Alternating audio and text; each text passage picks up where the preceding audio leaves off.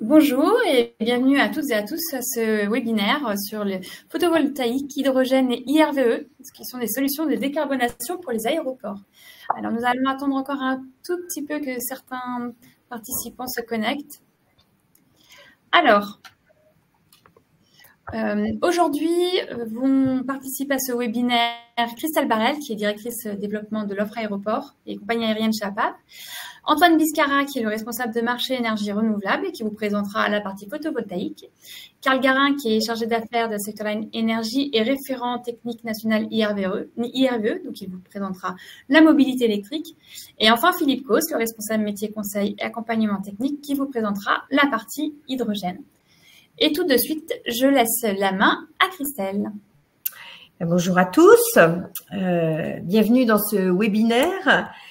Dans le cadre de sa stratégie euh, aéro, le groupe APAV souhaite accompagner le secteur aéroportuaire dans son objectif d'atteindre la neutralité carbone à l'horizon 2050.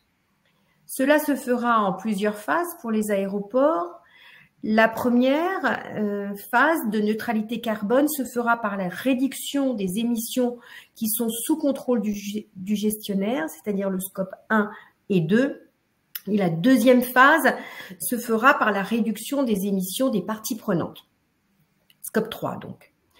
Les aéroports suivent pour la plupart la démarche AK qui donne un cadre, mais c'est aussi de la responsabilité des aéroports que d'aider les compagnies aériennes, les assistants, euh, les prestataires divers à, euh, à activer, euh, à atteindre cet objectif, entre autres par le verdissement de leurs équipements, la limitation des GPU, l'efficacité énergétique au sol pour les compagnies aériennes. L'aéroport est l'acteur principal pour mettre à disposition les services en lien avec ces objectifs et donner le tempo au changement en fonction des choix et des arbitrages que fera l'aéroport pour donner l'accès euh, à ces nouvelles énergies. APAV, en tant que leader du marché de la maîtrise des risques, vous présente les solutions que vous pouvez mettre en place. Dans une première partie, nous aborderons l'énergie voltaïque, dans une deuxième partie, la mobilité électrique et enfin, nous aborderons les solutions euh, au niveau de l'hydrogène. Je laisse donc la place maintenant à Antoine. Merci Christelle, bonjour à tous. Donc, je vais vous présenter euh, effectivement la partie énergie photovoltaïque. Hein. On parlait d'énergie renouvelable. Euh, il est certain que l'énergie photovoltaïque est sûrement la plus adaptée au milieu aéroportuaire. Ça va pas être facile de mettre des éoliennes. Donc, les, panneaux photovoltaïques paraissent plus indiqués. Donc, euh, je vais commencer par vous faire une petite photographie de, de l'énergie photovoltaïque en France au niveau global, si vous voulez. Donc aujourd'hui, c'est dans un environnement législatif qui est propre à développer au maximum euh, les énergies renouvelables en général et l'énergie photovoltaïque en particulier, en particulier par le biais de ce qu'on a appelé la loi APR, la loi du 10 mars 2023, accélération de la production d'énergie renouvelable. Fin 2023, il y avait déjà en France 19 gigawatts crêtes de puissance installée en photovoltaïque et on a produit en 2023, le, photovoltaïque a produit près de 5% de la production d'électricité totale en France, ce qui commence à être des chiffres tout à fait significatifs. On n'est plus dans le marginal. D'accord? Ça représente 840 000 installations photovoltaïques en France. Alors le chiffre paraît énorme. Il faut savoir qu'évidemment, l'immense majorité de ces installations sont de toute petite puissance. Malgré tout, il y a une progression extrêmement forte, euh, une croissance exponentielle du marché hein, dans un environnement euh, législatif et, juridique et financier euh, très favorable. Voilà. Aujourd'hui, donc, on a dit 19 gigawatts crête installés, d'accord, différentes euh, méthodes, hein, posées, ombrières, bâtiments, agrivoltaïsme, etc. L'objectif 2028, c'est-à-dire demain, c'est 45 gigawatts crête et 2050, alors plusieurs chiffres circulent, mais de tous, ils sont supérieurs à 100 gigawatts crête installés en énergie photovoltaïque en France. Donc c'est vraiment un, un développement euh, particulièrement important qui est attendu. Pour ça, le, le, le, législateur a prévu d'installer des panneaux photovoltaïques à peu près partout où on peut en installer. Donc ça c'est la loi APR qui dit ça, il faut en implanter le long des voies de circulation. Alors on pourrait mettre les, les aéroports, même si c'est pas des voies de circulation, c'est quand même des, des, des infrastructures de, de, transport. Donc implanter des panneaux photovoltaïques PV là où il y a, du foncier le, long de ces, le long de ces équipements. Tous les parkings supérieurs, extérieurs supérieurs à 1500 mètres carrés D'accord euh, L'agrivoltaïsme, c'est un domaine un petit peu particulier. Les centrales, partout où on peut en mettre sur les friches industrielles, littorales, etc. Et sur tous les bâtiments neufs, non résidentiels, euh, neufs, ou, ou, ou lourdement rénovés. Donc, euh, en fait, l'idée, c'est de faire feu de tout bois euh, pour euh, implanter des panneaux photovoltaïques partout où c'est possible. J'ai mis un petit calendrier euh, en ce qui concerne les bâtiments et les parkings hein, pour, pour, la loi APR. Alors, je, je vais pas, on, on, va pas tout lister, mais voyez que les échéances euh, sont relativement rapprochées quand même. Hein. En particulier pour les, pour les, même pour les parkings existants, ben, on, on, est sur des sur des échéances en juillet 2026 ou juillet 2028. Hein. Donc c'est pareil, c'est demain. Donc il y a, y, a, y, a, y a, réellement euh, euh une action forte à avoir euh, pour euh, euh, tenir les objectifs qui sont ceux de la loi APR. Sur les aéroports, qu'est-ce qu'on va trouver comme type de panneau Alors, des centrales au sol. Hein, alors, l'image en bas à gauche, avec un 737 en train de se poser, et puis au sol avec tracker. Tracker, c'est des suiveurs de soleil, ça permet d'orienter les panneaux. Alors, on verra, soit pour qu'il soit le mieux positionné possible par rapport au soleil pour avoir le meilleur rendement, mais aussi pour éviter l'éblouissement dans certains cas. Voilà. Sur bâtiment, il y a deux méthodes, c'est en surimposition ou intégré, semi-intégré, sachant que la méthode la plus simple, c'est quand même surimposition, sur des bâtiments existants en particulier. Et puis évidemment, les ombrières de parking. Donc voilà les, différents types qu'on va trouver euh, dans le milieu des aéroports et des aérodromes. Pour implanter des panneaux photovoltaïques sur les aéroports et aérodromes, précisément, ça se fait dans un cadre défini dans une note d'information technique de la DGAC, d'accord, qui, qui donne les, les, règles pour implanter correctement ces panneaux avec deux axes. Il y a un axe objectif conformité et un axe objectif sécurité. Conformité, évidemment, euh, un aéroport, un aérodrome, c'est fait pour faire décoller et atterrir des avions et des hélicoptères. C'est pas fait pour produire de l'électricité. En conséquence de quoi, l'installation des panneaux, eh ben, elle doit être faite de telle sorte qu'elle ne gêne en aucun cas l'activité de l'aéroport. Donc, pas de perturbation évidemment sur les, équipements de navigation aérienne. Hein que ce soit les VHF, les VOR, ILS, etc., les, les, radars météo ou tous les systèmes de radionavigation pas d'obstacles dangereux euh, dans les zones de servitude, les surfaces de dégagement et les aires de mouvement à bord direct, effectivement, c'est faux. On peut pas mettre des panneaux au, qui, qui, qui, qui, présenteraient un danger au ras des pistes, par exemple, on va voir ça tout à l'heure. Pas d'impact sur les conditions d'exploitation de l'aérodrome, c'est-à-dire que, alors, d'une part les actions des services de secours et d'autre part euh, sur les aérodromes il y a des alimentations électriques de sécurité qui sont secourus. Et si on est en autoconsommation, qu'on décide d'alimenter un certain nombre d'équipements euh, via les panneaux photovoltaïques, il ne faut pas oublier euh, cette obligation de secours des, équipements de sécurité. Voilà, donc il faut, il faut le prendre en compte quand on, quand on, quand on fait les études d'implantation des, des systèmes photovoltaïques. Et puis les objectifs de sécurité, d'accord? Alors, un, euh, que ce soit pas dangereux pour la navigation aérienne, c'est-à-dire maîtrise de l'éblouissement des pilotes et, des contrôleurs. D'accord? Et il faut, quand on installe des panneaux photovoltaïques sur un, sur un aérodrome, il faut si on est assez près des équipements, démontrer qu'il n'y aura pas d'éblouissement incapacitant des pilotes ou des contrôleurs. Il peut y avoir des éblouissements d'inconfort, ça, c'est un éblouissement très fugitif, mais après tout, ça peut être la même chose pour un plan d'eau à proximité de l'aéroport, etc. Donc c'est très fugitif, on appelle ça éblouissement d'inconfort, donc il faut le signaler pas de règle particulière. En revanche, un éblouissement incapacitant, c'est là, ça remettrait en cause la sécurité des vols. Donc là, si on installe des panneaux photovoltaïques alentour des, des, des, des, pistes, etc., alors il va falloir démontrer que ces installations ne risquent pas d'éblouir les pilotes ou les contrôleurs. Évidemment aussi prise en compte des enjeux de sécurité d'exploitation, c'est-à-dire il faut évidemment pas gêner les services de, secours en particulier. Euh, il faut qu'on puisse, euh, en cas d'incendie ou, autre, pouvoir intervenir en sécurité sur les installations photovoltaïques, ce qui n'est pas si simple. Hein. c'est des installations en courant continu, donc c'est vraiment le, euh, la chaîne de l'intervention d'urgence doit être maîtrisée.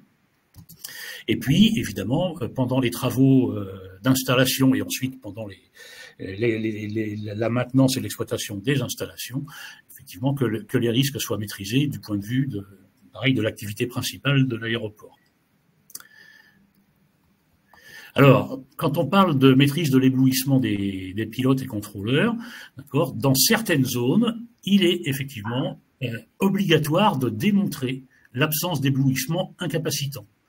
D'accord? Donc pour des petites installations, c'est-à-dire moins de 500 mètres carrés, là il y a des petits schémas qui, sortent de la note euh, d'information technique de la DGRC qui expliquent bien que si vous installez des installations qui font forcément moins de 500 mètres carrés du reste, à proximité des pistes, à proximité des FATO, les FATO c'est les, les pistes pour les hélicoptères, hein, euh, donc euh, ça veut dire Final Approach and Takeoff Area, donc toujours 100 mètres euh, latéralement, 500 mètres longitudinalement. Si vous êtes dans cette zone-là qui est dans le carré bleu, alors il faudra démontrer qu'il euh, n'y a aucun risque d'éblouissement euh, incapacitant pour les pilotes et contrôleurs.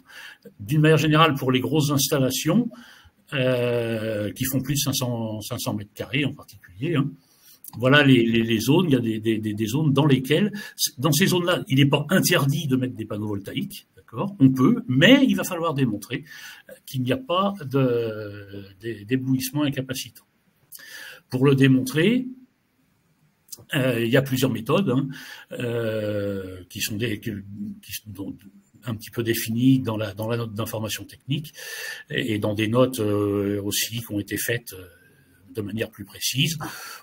Il y a le vécu, c'est qualitatif.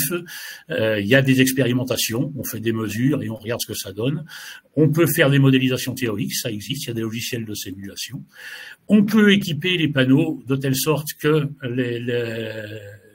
l'éblouissement soit diminué ou supprimé, donc des traitements anti-reflets par exemple, mais aussi le tracking dont je parlais tout à l'heure, c'est-à-dire qu'en fonction de la position du soleil et de la piste en service par exemple, on peut tout, à fait euh, orienter les panneaux de telle sorte qu'il n'y ait pas de risque d'éblouissement.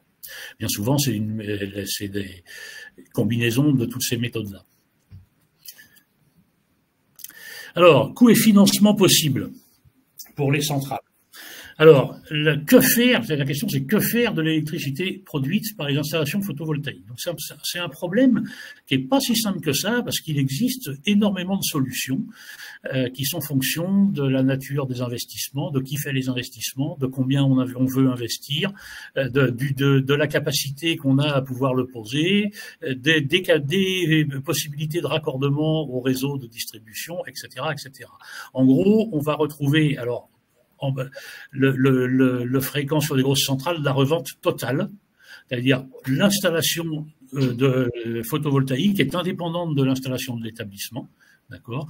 Elle est, il s'agit d'une centrale de production et toute la production électrique est revendue en général à EDF euh, ou par l'intermédiaire de PPM et ça revient au même. C'est-à-dire là il y a un contrat et toute l'électricité produite est revendue.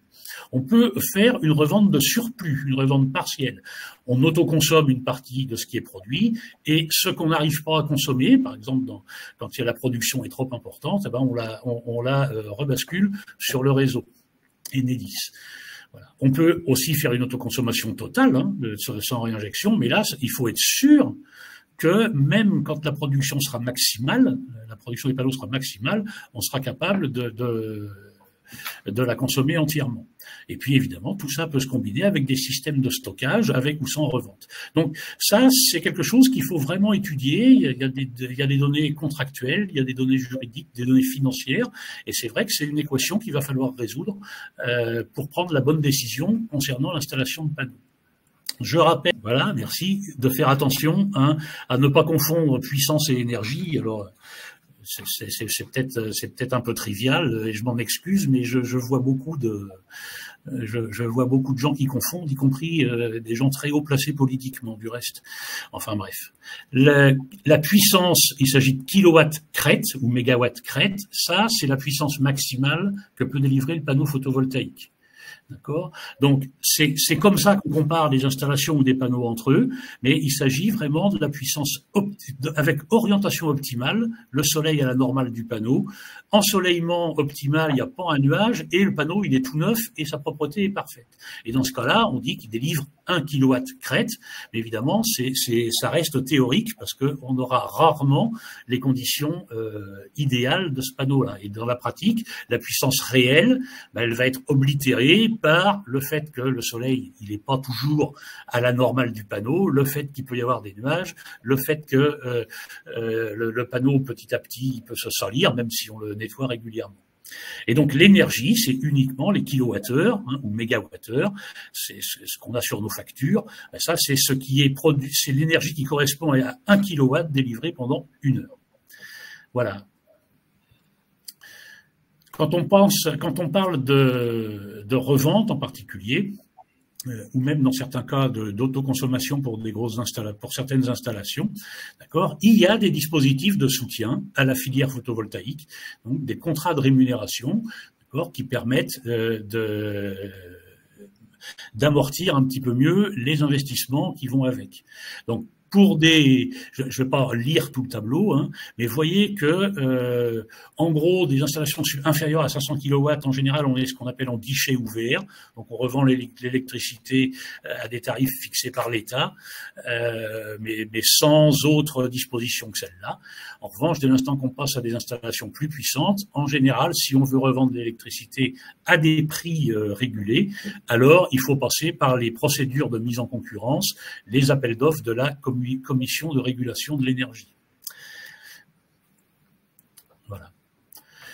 J'ai mis ici quelques ordres de grandeur des coûts d'investissement, dans différentes euh, configurations, donc en toiture, en ombrière et au sol.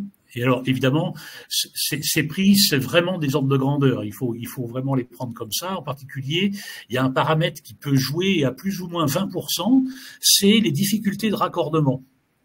C'est-à-dire que c'est alors pour un aéroport, on peut supposer que ces difficultés de raccordement seront pas très grandes, c'est-à-dire que les réseaux de Enedis, ils passent pas très loin, ce sera pas très compliqué de raccorder l'installation sur le réseau Enedis, mais c'est vrai que dans des installations en pleine nature, c'est quelquefois très compliqué. Donc voilà un petit peu, il faut, bien prendre en compte c'est des, que ce sont des ordres de grandeur, mais ça vous dit quand même à peu près que, euh, en gros, un million de mégawatts crête, quoi, pour faire simple. Voilà. Et ensuite, bon, la loi APR, on a vu, c'est des obligations. Euh, il y a l'obligation de solarisation des bâtiments, des parkings, etc. Je pense qu'il ne faut pas raisonner uniquement comme ça. C'est vraiment une opportunité. D'accord? Une opportunité, évidemment, d'atteindre les objectifs RSE. Une, une, opportunité de faire, de faire énormément baisser le bilan, le, bilan carbone, ça c'est clair. Le, le photovoltaïque, c'est une électricité décarbonée. Donc, réduire la facture énergétique, évidemment.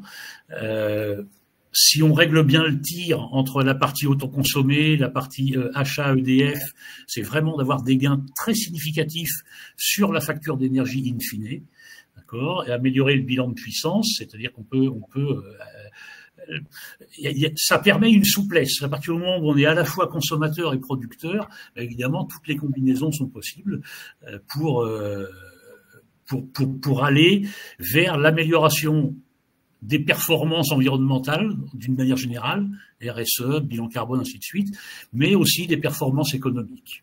Voilà. J'en ai terminé. Je laisse la parole à quelqu'un qui sait utiliser l'énergie des panneaux photovoltaïques. Merci Antoine.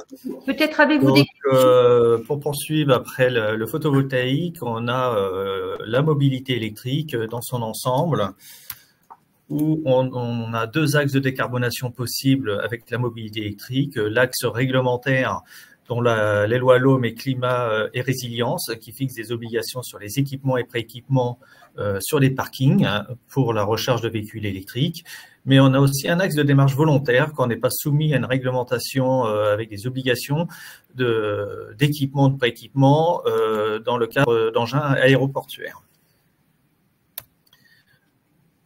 Pour parler de la partie euh, réglementaire sur les parkings et rappeler un peu le contexte et chiffres repères, 2035, euh, c'est la fin des ventes de véhicules légers, euh, fonctionnement à l'énergie fossile, avec 30% des émissions de CO2 qui sont issues des transports. L'objectif du plan de finances 2030 est 2 millions de véhicules électriques et hybrides rechargeables en circulation. À ce jour, 99% des aires d'autoroute concédées sont équipées de recharge rapide en à juin 2023. Hein, donc, il y a la charge lente et la charge rapide. Euh, à ce jour, il y a 130 000 points de charge ouverts au public à avril 2024 euh, et euh, un véhicule électrique, c'est 2 à 6 fois moins d'émissions de CO2. Un petit rappel sur la loi climat et résilience, hein, où la fin des ventes des véhicules, des voitures particulières neuves émettent plus de 95 grammes de CO2 par kilomètre, euh, donc à compter du janvier, euh, de 1er janvier 2030, et la fin des ventes de véhicules lourds, neufs, camions, autobus et autocars d'ici 2040. Sur la loi euh, d'orientation des mobilités, la loi LOM, on parle de différentes typologies d'installations et notamment les bâtiments existants non résidentiels comportant un parc de stationnement avec des seuils d'emplacement. Par exemple, à partir de 20 places au 1er janvier 2025, au moins un point de charge situé sur un emplacement dimensionné pour l'accès au PMR doit être équipé et un point de charge par tranche de 20 en emplacement supplémentaire, ce qui correspond à 5% d'emplacement de parking. Bien sûr, il y a des conditions euh, selon le montant des travaux. Donc, euh, il y a des seuils euh, qui permettent de déroger à cette obligation-là. ce sont les travaux d'adaptation qui sont considérés comme importants en, en, aval du tableau général basse tension. On a effectivement aussi le bâtiment non résidentiel neuf ou faisant l'objet d'une rénovation importante ou jouxtant de tels bâtiments. Donc il y a le programme du neuf, euh, où il doit y avoir des équipements ou du pré-équipement.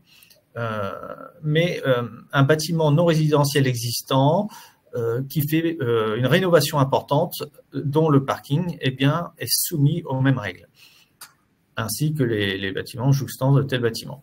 Donc, avec un parc de, de, stationnement supérieur à 10 emplacements, 20% est prééquipé donc 1 sur 5 est prééquipé et 2% de ces emplacements avec au minimum un dimensionné accès PMR. Et au moins un emplacement dont le dimensionnement permet l'accès au PMR et équipé pour la recharge. Il, faut, euh, il y a deux notions. Hein. L'équipement, c'est euh, la protection, la canalisation et, le point de charge, la borne de recharge. Et le prééquipement, c'est euh, les fourreaux, les canalisations qui permet à terme de mettre, euh, d'installer les câbles, les protections et les bornes. Et après, il y a des seuils quand on dépasse les 200 emplacements de parcs de stationnement. Il y a deux qui sont équipés, dont un réservé au PMR. Donc, il en est de même pour tout ce qui est parc supérieur à 10 emplacements de stationnement situés à l'intérieur des bâtiments non résidentiels et les parcs de stationnement supérieurs à 10 emplacements de stationnement jouxtant de tels bâtiments. Bien sûr, il y a aussi cette règle de rénovation qui euh, est qualifiée d'importante sur la, à hauteur de un quart de la valeur du bâtiment. Donc, il y a des seuils qui permettent de ne pas euh, accéder à ces obligations qui peuvent être contraignantes.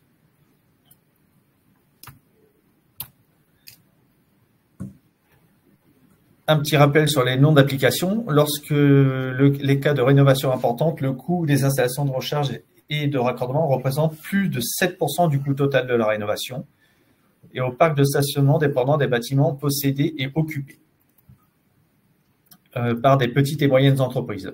Donc, euh, selon la définition euh, de la commission du 6 mai 2003.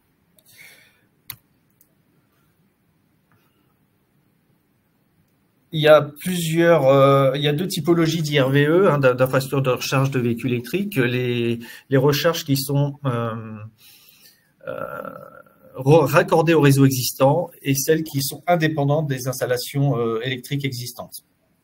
Il y a deux typologies et peuvent complètement être indépendants. Un IRVE peut être indépendant des, bâtiments existants et peut être euh, géré et exploité par un tiers indépendant. L'autre axe, c'est sur les engins euh, aéroportuaires euh, qui sont actuellement euh, à, combustible, donc thermique, que ce soit tous, les, tous les engins listés sur la colonne de gauche, mais aussi sur l'électrification des avions de, tourisme qui à ce jour commencent à être, déployés. Donc, le fonctionnement des recharges de, des engins aéroportuaires et euh, des avions de tourisme, le fonctionnement de la recharge est identique. Il est nécessaire d'identifier euh, l'usage qu'on en fait de ces engins-là pour déterminer la puissance de charge, le pilotage de la charge et l'infrastructure qui est à mettre en place. Donc, on peut accompagner sur différentes phases et euh, il y a différentes phases de, travaux à prendre en compte dans les projets, l'amont des projets, hein, la phase travaux et, la formation. Il est euh, important d'analyser euh, les types d'usage pour bien définir son besoin en, en, recharge, que ce soit sur la partie réglementaire pour les parcs de stationnement, mais aussi tous les engins aéroportuaires. L'analyse de faisabilité sur le raccordement de l'existant, ou le choix d'avoir un, comptage et une installation de recharge complètement indépendante, euh, les bilans de puissance, euh, une vigilance sur les zones ATEX, hein, parce que forcément, on va mettre une installation électrique à, proximité d'un parc d'hydrogène ou de, kérosène ou autre. Euh, le dimensionnement bilan de puissance et important aussi, c'est le diagnostic d'amiante et de recherche de HAP parce qu'on va faire des tranchées dans, les enrobés bitumeux et aussi fixer euh, les cheminements euh, ou des traversées de parois dans le bâti. Donc, il y a recherche d'amiante selon l'année de, de, construction euh, des matériaux.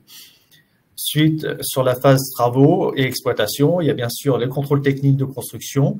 Et a un établissement recevant du public, euh, on prend en compte le risque incendie par, par la VRAT la coordination de sécurité, hein, c'est un chantier clos fermé, et les vérifications réglementaires comme toute installation électrique. Et à chaque phase, il y a bien sûr euh, des formations euh, pour les installateurs, les mainteneurs, les usagers, ainsi que les bureaux d'études, entre autres. Je passe la main à Philippe pour la partie hydrogène. Je vais lancer un sondage juste avant que Philippe prenne la main. Euh, euh, ça m'intéresse, enfin, ça nous intéresse de savoir si parmi vous, certains ont déjà des projets en cours ou des projets euh, à venir. Donc, je vous mets le sondage qui doit normalement que vous devez voir apparaître sur votre écran. Donc la question, avez-vous des projets en cours, des infrastructures de recharge, des panneaux photovoltaïques, que ce soit ombrières, fermes, etc., ou stations d'hydrogène production ou station de ravitaillement Ou peut-être n'en avez-vous pas? Donc, je vous laisse répondre.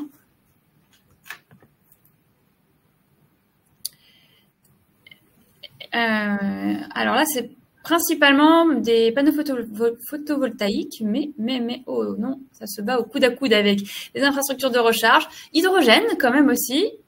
Euh, là, on en est à 17% hydrogène ça monte, ça monte pour le photovoltaïque. Bon, donc là, on est beaucoup sur l'électricité euh, photovoltaïque et sur les IRV, enfin, et, les infrastructures de recharge.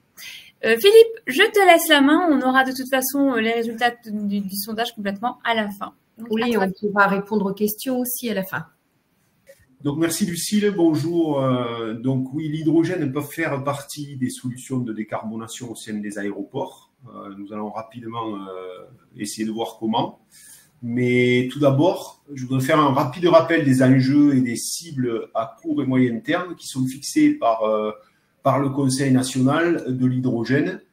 en citant cette cible prioritaire, bien sûr contribuer à la, à la neutralité carbone, euh, mais également augmenter les, capacités de production euh, d'hydrogène décarboné, euh, de déployer les infrastructures nécessaires, de soutenir la filière et la, et la compétitivité, de développer à l'international également, et puis d'améliorer la maturité technologique du matériel et des équipements, tout en fixant un cadre, un cadre réglementaire, normatif, euh, bien sûr harmonisé avec les travaux qui sont faits à la, à la Commission européenne, euh, et puis donner les moyens nécessaires au déploiement de cette filière.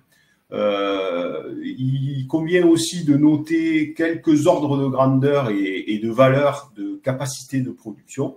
Elles sont pas du tout comparables euh, à celles qu'a cité mon, ami Antoine tout à l'heure pour le photovoltaïque, mais euh, on voit bien que l'impulsion est donnée. En 2024, même si euh, en hydrogène décarboné, on est sur des, des, des, valeurs qui sont, qui sont faibles, il faut noter que on est sur le double de puissance par rapport à celle de 2023, mais qu'on maintient un cap euh, qui a été euh, validé et conforté en début d'année pour 2030 euh, à court terme, donc de 6,5 gigawatts et pour 2035 à 10, 10 gigawatts. Donc l'impulsion est donnée et ça devrait s'accélérer, comme ça a été le cas d'ailleurs pour les autres technologies au départ, notamment en photovoltaïque, comme le disait Antoine. Alors, produire de l'hydrogène décarboné pour, quel, pour quels usages? Ben, Entre autres, l'hydrogène trouve sa place en transport, notamment sur euh, les transports lourds, euh, mais également, euh, mais on va pas trop l'aborder ici, pour certaines industries lourdes telles que les cimentiers, les métallurgistes ou les raffineurs, et bien d'autres producteurs d'engrais qui trouvent dans l'hydrogène des possibilités de décarbonation de leur process industriel et souhaitent et sont, sont soumis et confrontés à la réduction massive de leurs émissions donc euh, parce qu'ils utilisent quelquefois de l'hydrogène dit gris euh, produit et fabriqué par vaporoformage euh, pour faire fonctionner leurs unités. Et aussi, quelquefois, on va trouver l'hydrogène comme un vecteur énergétique pour stocker l'énergie en solution hybride lorsqu'on l'associe au photovoltaïque et aux batteries qu'on a évoquées avant. Dans ces cas-là, on peut avoir euh, des solutions qui permettent de lisser la production euh, d'énergie renouvelable sur 24 heures grâce à un système à hydrogène qui va permettre de passer de l'électron à la molécule et de la molécule à l'électron lorsque le soleil ne brille pas ou quand il s'agit d'éolien, lorsque le vent ne souffle pas. Tu peux, voilà. Alors, l'utilisation de l'hydrogène dans l'aéroportuaire, de quelle façon? Ben, il faut contribuer euh, au déploiement des infrastructures par, euh, des hubs ou des, des intra-hubs euh, qui s'intègrent toujours dans le mix énergétique en respectant les choix et les contextes qui sont souvent particuliers et locaux.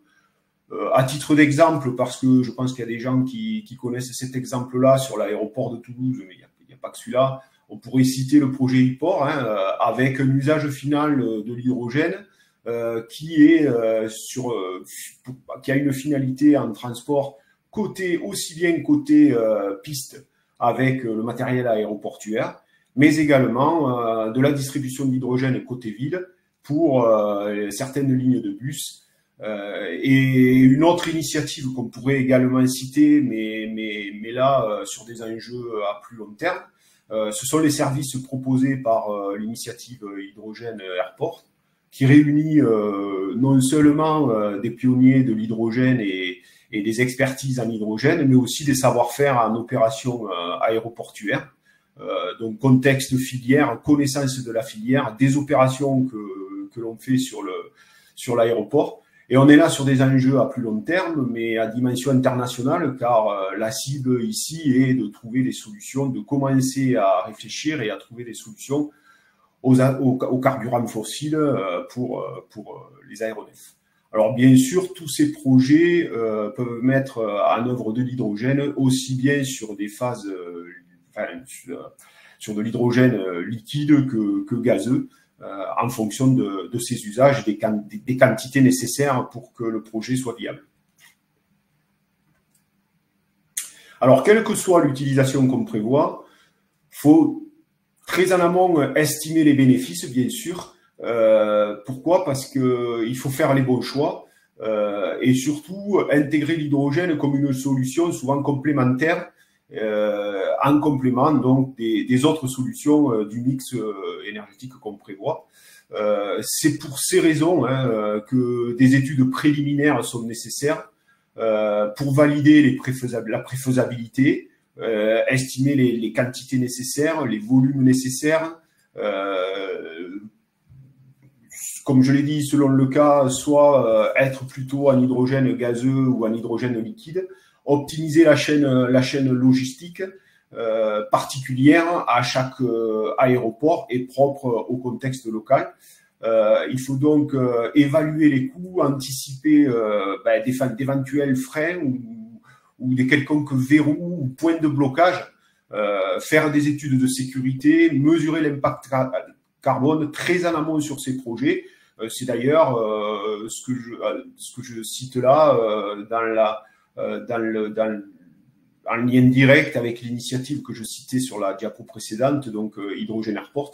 Donc ces services proposés-là permettent de répondre à ces questions et doivent être utilisés très en amont avant de se lancer dans une quelconque euh, multiplicité d'études détaillées qui, in fine, pourraient aboutir à un projet qui ne sortirait, comme on dit, jamais des cartons.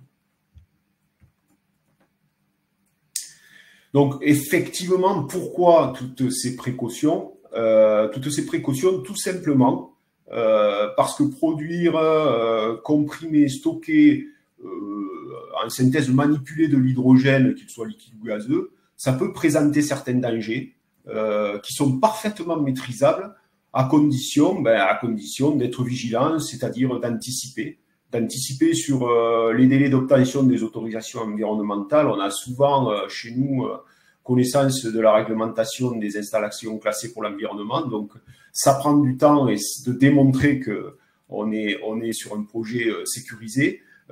prendre en compte ben, les budgets, les budgets de, mise à niveau de, de certaines installations et infrastructures existantes lorsque on va y réaliser à l'intérieur des travaux mettant en œuvre de l'hydrogène tout simplement parce qu'on aura des mises à niveau à faire, des analyses de risque pour voir s'il faut rajouter de la détection et des dispositifs de sécurité supplémentaires.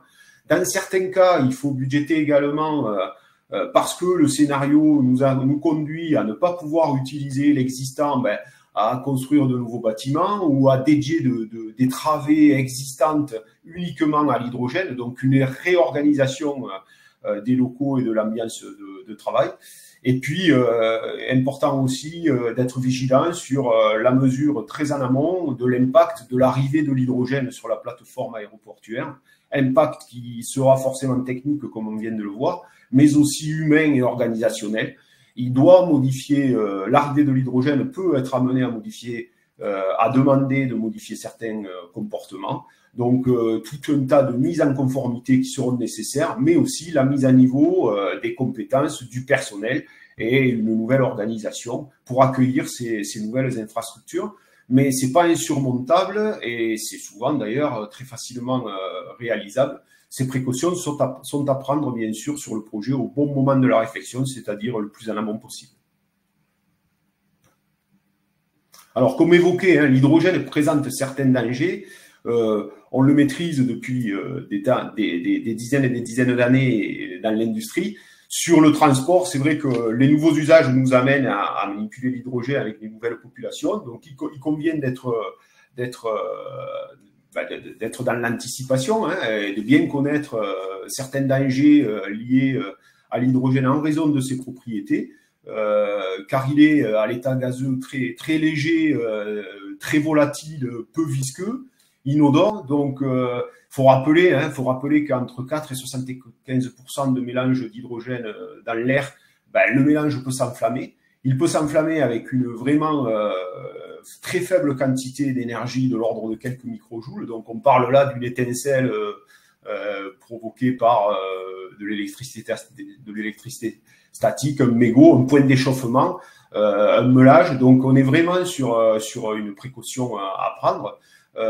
Donc c'est pour ça qu'on craint finalement sur les dangers de l'hydrogène, ben, son pouvoir de fuite, la difficulté à le détecter lorsque lorsqu'il fuit, la fragilisation de certains matériaux parce que je ne vais pas rentrer dans les détails techniques, mais l'hydrogène peut fragiliser euh, certains matériaux et les rendre poreux. Euh, son accumulation euh, en point haut, bien sûr, et tout ça pour craindre ben, son inflammation qui peut induire ben, des feux, des explosions, avec des effets thermiques engendrés par ces feux et ces explosions, mais, mais, mais également mécaniques qui peuvent entraîner des conséquences graves pour les, pour les personnes, les biens et le matériel.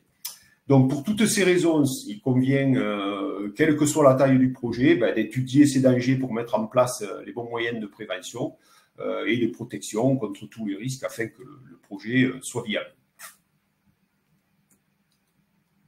Alors, il faut se montrer rassurant quand même. Hein, l'hydrogène ne fait pas que peur. Il a des propriétés qui présentent un certain nombre d'avantages. pour, pour aller assez vite, je, dirais que, pour résumer cette diapo, que notamment euh, son pouvoir de dilution dans l'air. Euh, c'est un avantage très notable parce que chaque fois qu'il est possible d'implanter euh, les installations à l'extérieur et de ne pas confiner ces installations dans des bâtiments, ben, on a forcément un lieu fortement ventilé. Et là, du coup, l'hydrogène devient avantageux parce que parce que il, il se dilue très rapidement dans l'air. Alors, pour que la bulle de protection contre, contre les risques soit efficace, euh, sur, comme sur tout projet industriel euh, d'ailleurs, hein, euh, il faut considérer toutes les phases du projet. même en amont, là on a, on, a, on a résumé en mettant celle que vous voyez sur la diapo, mais je dirais très en amont, dès les premiers contours du design, dès les premières études de préfaisabilité, dès les premières analyses ou les études de risque préliminaires, euh, il faut se poser les bonnes questions. Également, euh, en conception détaillée, une fois que le projet est bien, bien bordé et que les contours, euh, tant au niveau des, des, implantations que du procédé, est bien dessiné. Puis poursuivre les efforts donc de maîtrise des risques sur les phases de construction et de réception pour s'assurer que ce qu'on a prévu en conception est réalisé correctement par les entreprises intervenantes sur le, sur le chantier. Et puis euh, tout ça finalement euh, pour livrer à l'exploitant ben, une, une, installation euh, sûre, sécure, et également aux gens qui vont être chargés de la maintenir. Donc cette, cette installation devra être sûre, performante fonctionnellement, car si les pannes et les arrêts ben, engendrent des pertes d'exploitation, souvent synonymes de pertes économiques, elles provoquent aussi souvent des situations dangereuses parce qu'on fonctionne à ce moment-là avec des modes qui sont dégradés euh, et qu'on n'a pas forcément prévu. Et du coup, euh, on a des risques supplémentaires engendrés par ces pannes. Alors, d'où, ben, dans la continuité de ce que je viens de dire, hein, euh, la nécessité dès la conception de s'inscrire dans une approche d'analyse de risque et d'amélioration continue qui repose sur deux boucles d'amélioration continue, avant-projet et puis projet détaillé sur la conception, pourquoi ces deux boucles d'amélioration continue Je ne vais pas rentrer dans les détails de la conduite d'un projet, mais on a euh, besoin de sécuriser euh, les implantations. Donc, une première de bulle, bulle, de protection contre les risques liés aux implantations des installations, avec euh, des distances par rapport au voisinage, des murs coupe-feu, etc., des dispositions constructives, avec différentes revues, hein, des, revues de scénarios, de comparaison de scénarios, et puis une évaluation quantitative des risques in euh, et puis sur la deuxième euh, donc euh, boucle d'amélioration continue, là on va s'intéresser essentiellement au comment ça marche, au procédé et surtout anticiper à d'éventuelles dérives liées à la conduite de ce procédé et de ces installations. Donc des dérives là qui concernent des paramètres, des paramètres de fonctionnement de l'installation, telles que pression, température, débit, trop de pression, pas assez de température, trop de température, trop de débit. On va faire varier ces paramètres et dans ces analyses-là, on va sécuriser le procédé de manière ensuite à pouvoir réaliser la construction des installations. Voilà, donc cette, cette approche-là, hein, euh, bien, euh, connue de tous les gens qui ont l'habitude de, conduire les projets euh, industriels, cette approche, elle met en œuvre bien sûr de nombreuses méthodes d'analyse de risque qu'on ne va pas développer, et c'est pas l'objectif sur ce webinaire. retenons quand même qu'elles permettent de positionner le curseur au bon niveau optimal pour bien maîtriser ben, les risques, la conformité et la performance fonctionnelle de l'installation. On parle dans notre jargon de performance globale, hein, mettre une bulle de protection contre l'ensemble de ces risques. Vous pouvez voir sur cette diapo euh, des acronymes tels que des ASOP, des ATEX. On ne va pas reprendre la définition de ces, de ces acronymes-là ou de ces méthodes-là, mais ce sont des, euh, acronymes et des, revues euh, que maîtrisent les gens qui sont sur la conduite euh, safe des projets. Voilà, je crois que voilà, je crois que j'en ai terminé en espérant que dans un temps très limité, ça vous a sensibilisé sur les précautions à prendre pour mettre en œuvre un système à hydrogène sur un complexe aéroportuaire. Merci beaucoup Philippe. Alors je vais d'abord lancer un sondage. Euh, ce webinaire a-t-il répondu à vos attentes? Oui, non. C'est oui tout à fait. Excusez-moi. Eh bien, afin de voir si il faut que l'on s'améliore. Alors, je n'arrive pas. Voilà, je vous le soumets.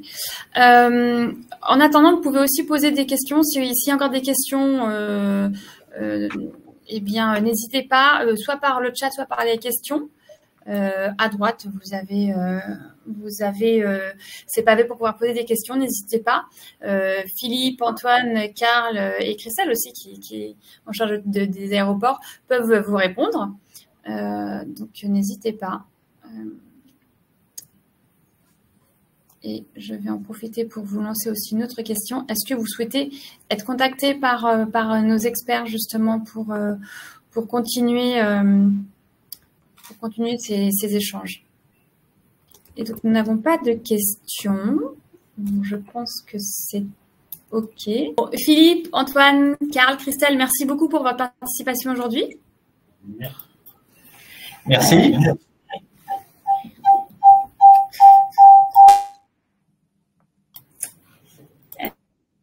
Et puis, euh, je vous souhaite à tous une très bonne journée. Et nous sommes à votre disposition encore. Hein, n'hésitez pas vraiment sur euh, la décarbonation. Euh, APAV est vraiment là à vos côtés pour cela. Oui, donc euh, mais je vois en fait euh, tout le monde est intéressé pour recevoir les slides. Bon, voilà, donc sachez que APAV est vraiment à vos côtés pour la décarbonation. Donc là, on vous a présenté toutes ces solutions de décarbonation d'énergie, hydrogène photovoltaïque et euh, bande de recharge. Euh, on est présent également sur toute la chaîne de process, notamment pour l'Airport Carbon Accreditation avec notre partenaire Envisa. Donc également, c'est une des, des, phases sur lesquelles on peut vous aider pouvoir obtenir l'ACA, même si nous, on ne, on ne le donne pas. Euh, on, est, on est là pour vous aider tout au long des, différentes phases de, l'ACA. Euh, je vous souhaite à tous une très bonne journée euh, et à très bientôt sur nos prochains webinaires. Merci, au revoir.